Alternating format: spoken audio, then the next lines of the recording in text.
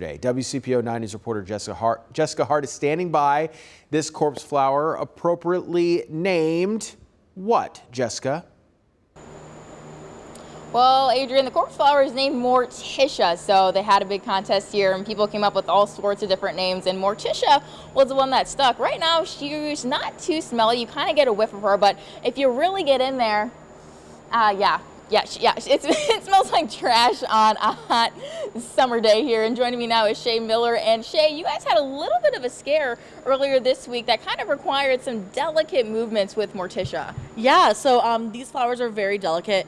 And on Friday, the, when the last bract leaf, which is these bracing leaves, fell off, we realized that she was backwards. Um, so the the fold here was facing the back of the um, building. So two of our staff members um, had to very delicately move her millimeter by millimeter so that she could turn the right direction for the bloom.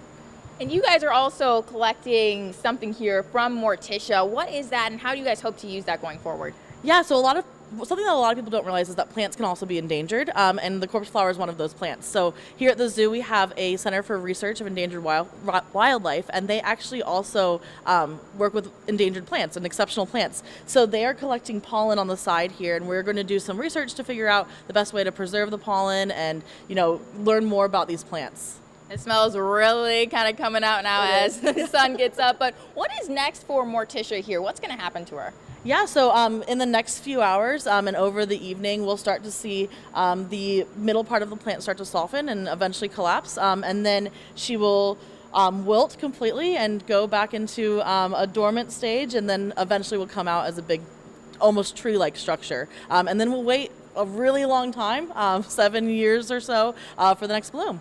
Are, are you sad to see her go, or are you you ready to have the smell go away? You know, I am really sad. It's been a huge thing for us the last couple of weeks is tracking her. Um, we've got some very dedicated members on the team that have been measuring her every day, taking her temperature, figuring out um, how warm she would get because we knew that as she got warmer, that's when we got closer to blooming. Um, so it's been a big undertaking for everyone on the team. Um, and so it's kind of sad to see her go. It's been, you know, everything that everyone has talked about for the last few days.